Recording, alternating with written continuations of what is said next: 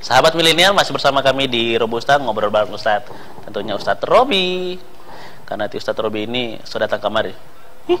Maksudku. Oke, dan ini sudah di sesi ketiga. Jadi sesi ketiga ini kita sesi terakhir yang eh, artinya Ustadz harus memberikan kesimpulan terhadap apa pembicaraan terengin. Tapi sebelum memberikan kesimpulan itu Ustadz, Mutima dogol tagatong anti baris talati. Contoh itu, Oh, contoh oh, tadi itu. ah. Contoh tadi itu, wow, Kalau kalau boleh benar. apa itu? Ya? Tagantungku tatali ya. Tatalia, ah, buat Tatalia bahasa Latia, Ustaz mati pun bahasa Leo di Ustaz. Jadi tolong Ustaz berikan eh, apa dulu em, itu pertanyaan eh jawaban atas pertanyaannya. Oh, oh ya makna sehat Ustaz. Minta mas sama anu karaja. Anu jam anu jam setengah lima setengah lima. Jangan terlambat satu menit pun karena teh bos mau ngoing. Oh, titip pelatihan dari satu itu.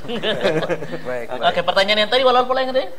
Bagaimana kalau seseorang tadi kan sudah dijelaskan panjang lebar mengenai tingkat kesalahan apa segala pahami lah. Tap- Dan kesimpulan pertanyaannya adalah bagaimana kalau dia marahi di depan umum dan di depannya orang kafir dan kita orang Islam yang harus menjaga izzah sebagai pemuda Islam kita. Kita sama-sama anak muda, sama-sama milenial. Milenial. Nah, bagaimana itu? jadi eh, menasihati itu pertama yang kita junjung tinggi itu adalah objektivitas. Aktivitas.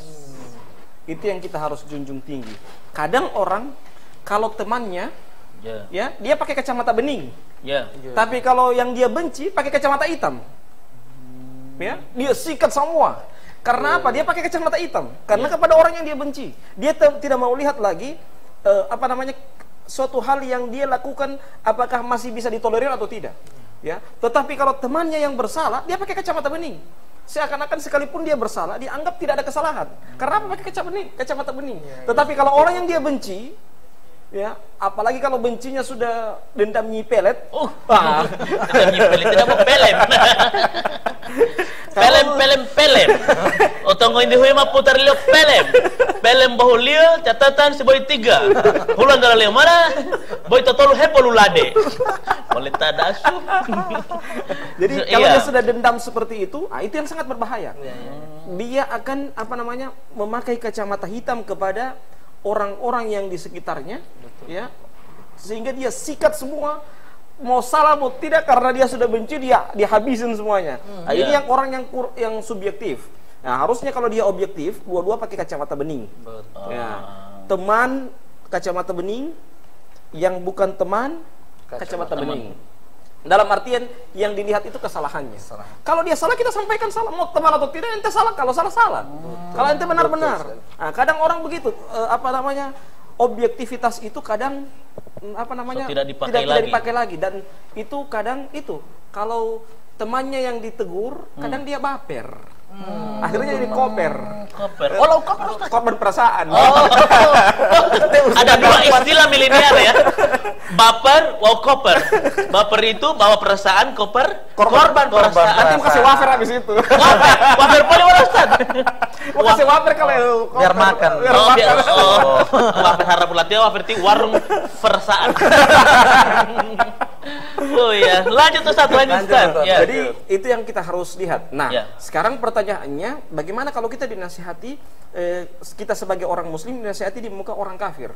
Ya, pertama, ini sebenarnya ini orang yang menasihati ini tidak melihat adab dalam menasihati. Harusnya dinasihati dia panggil empat mata. Ya. Ya. Ya itu. Ya, ya adab yoti apa? Sekalipun misalnya dia itu di muka apa? Dia itu bersalah. Kita panggil empat mata. Kita panggil empat mata kan kita kita duduk bersama. Itu lebih bagus. Persuasif kita lihat kita lihat lihat muka belakang dulu ada orang ini tidak jangan sampai ada orang yang mendengar. Nah, supaya memang aman. solusi. Aman. Dan jangan juga ketika habis dinasihati keluar di luar, uh, Main bakuku. Ma, baku warung Mame Anto. Wih, saya so nasihati dia, so aman. Oh. Mame Anto di itu kan. Iya, Sama iya. saja dia menasihati di muka orang banyak. Iya, iya, Harusnya ketika dia apa namanya dia menasihati orang, ketika Iya. dia menasihati orang, seakan-akan tidak ada masalah.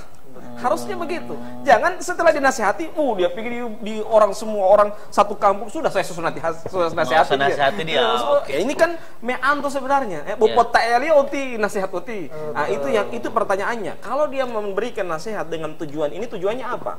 Ya. Tujuannya me anto oti, ya. Menasihati ini kan tujuan kita untuk agar orang itu berubah itu Ya. tujuannya kan Ada tujuannya efek. ada efek efek yang itu yang kita inginkan jangan sampai justru kalau kita menasehati baru kemudian kita sampaikan kepada orang lain ya sama saja kita memberikan efek yang tidak bagus kepada orang tersebut pasti Ya. orang akan marah dia ini dia bilang empat mata ini so, so bukan empat mata so sepuluh mata karena mau ulau Carlota jadi mah ilu dengan main mata.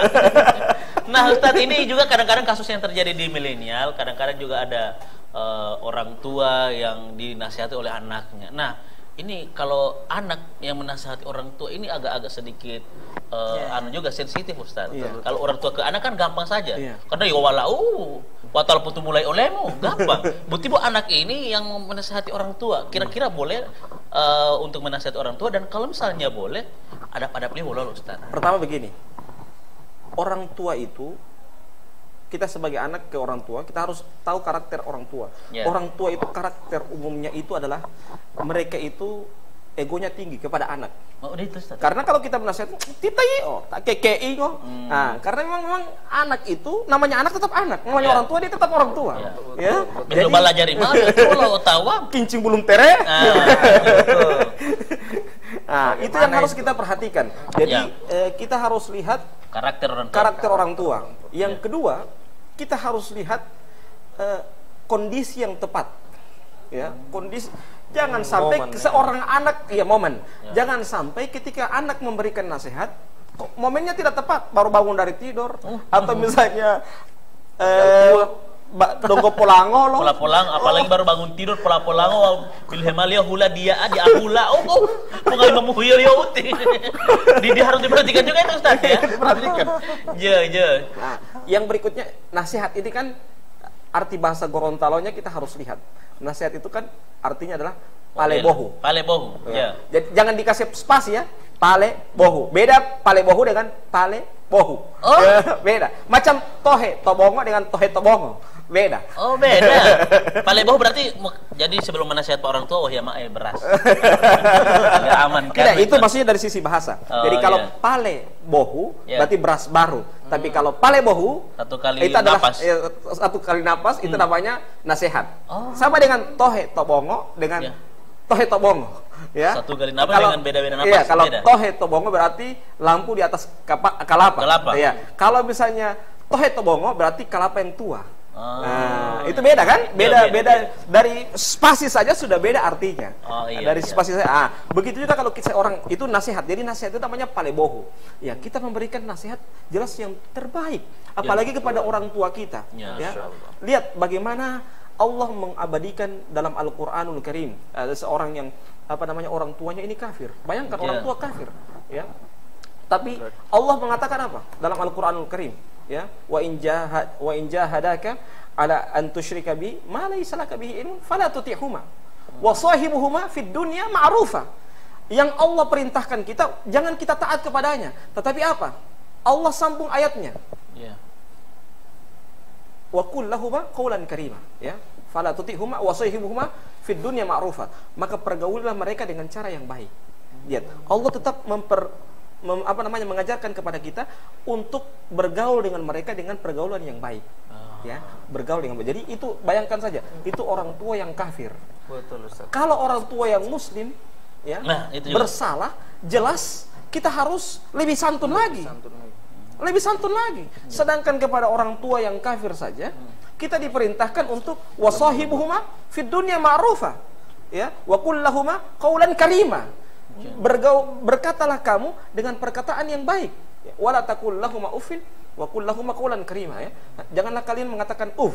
Uf saja tidak boleh. Apalagi sumpah pukul, apalagi sumpah maki. Ya. Benar, Uf saja tidak boleh. Uf saja jamal, Ustaz. Jamali. Apalagi sumpah, Tidak boleh. sumpah pukul. Wa qul lahuma qawlan karima dan berkatalah kamu dengan perkataan yang baik, ya, yang lembut, ya, lemah lembut. Itu yang harus kita perhatikan pada saat kita menasihati. Jadi kalau ada orang tua kita yang bersalah, Ya. anak menasihati, kita harus lihat momen yang tepat. Oleh sebab itu Allah Subhanahu wa taala berfirman dalam Al-Qur'anul Karim dalam surah An-Nahl ayat 125, "Ud'u ila sabili rabbika bil hikmah." Ya. Eh, berdakwalah kalian ke jalan Allah itu dengan hikmah. Hikmah itu bagaimana? Ya, kata Ibnu Qayyim Al-Jauziyah rahimahullahu taala, "Ma fi'lul ladzi yanbaghi ala al-wajhi alladhi yanbaghi fi waqti alladhi yanbaghi", yaitu sikap yang tepat. Yang berikutnya adalah ala al-wajhi alladhi yanbaghi, kondisi yang tepat. Yang ketiga adalah fi waqtil bagi pada waktu yang tepat. Jadi kita harus lihat tiga hal ini. Jadi kondisi kondisi lihat kondisi itu pola-pola golot di laut Iya. yeah. jadi kita harus lihat. Lepan Ah, ya susukar lo koperasi ti apa ti anu susukar lo koperasi eh, jangan coba-coba pendekatnya karena eh halo ya mau tapuk bulemeng ya. bulemeng itu sesuatu yang tidak ter, terjangkau tapi itu oh rasa atau hilang ganggu ya belum mau tapuk mai bulemeng macam macam suami istri nih kan Ya. Eh, yang diinginkan itu kan sakinah Mawadah, mawadah warahmah. Jangan sampai menjadi sakitan Sakinah, mawadu mawadah. warotan. Itu udah hal Ustaz ya. Oh luar biasa sekali Uti diskusi Uti uh, dulu Uti ya. Jadi sahabat milenial tetap ikuti kami di Robusta. Dan setiap hari Jumat itu pastinya. Tapi sebelum terakhir program ini Ustaz tolong berikan eh, informasi atau berupa kesimpulan dari pembicaraan hari ini. Ali jam Jamal Talapoli Amiati Muhammad karena kadang-kadang ulat itu hamalil ulanto Bu Ustaz. Ya apalagi untuk karyawan saya nanti Allah. Betul. yang memasuk terlambat. nasihat itu ya. yang harus kita lihat ketika kita menasihati orang kita harus ikhlas dulu. Ikhlas. Eh, jadi sebagaimana yang saya sampaikan dulu Ya. kita harus lillahi ta'ala. Lillahi ta'ala. Bukan lillahi ta'ala. boleh Ustaz. Ya. Jadi lillahi ta'ala. Ya. kalau lillahi ta'ala jelas tujuannya jelas Hmm. karena Allah.